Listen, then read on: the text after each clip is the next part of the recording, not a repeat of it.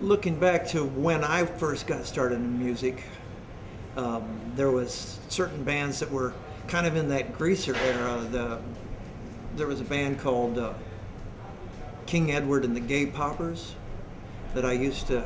I, I actually was friends with a guitar player, and they were a soul band basically, and boogaloo beat and that kind of thing. Terry Cook and the Mystics. They were really kind of funky James Brown style stuff.